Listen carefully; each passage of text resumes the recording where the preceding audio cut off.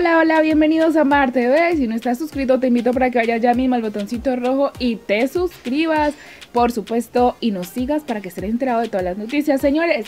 Y mensaje de cumpleaños de Sara Uribe a Freddy Guarín refuerza misterios sobre su relación.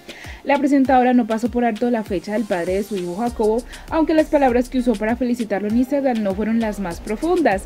El pasado 30 de junio, el futbolista cumplió 34 años, razón por la que recibió una mención por parte de la madre de su hijo más joven, que iba acompañada de un de fotos en las que solo aparecen él y Jacobo.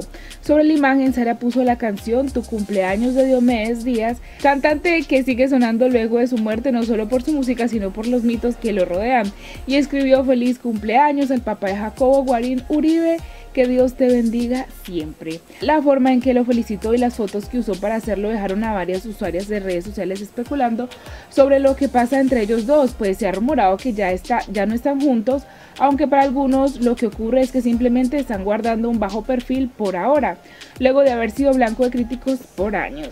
Señoras, aquí les voy a mostrar la fotico que compartió Sara Uribe y ustedes saquen sus propias conclusiones, bebés. ¿Qué opinan de esto? Los invito para que comenten y además de eso nos sigan a través de las redes sociales.